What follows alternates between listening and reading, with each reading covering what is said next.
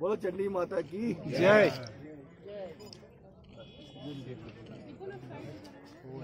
books वाले लगा देगा तो बाद में लगा देना बाल क्या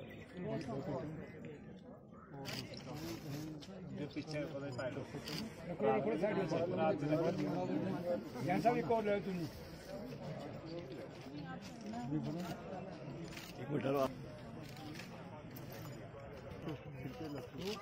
बाकी सारी कृपा रही माता जी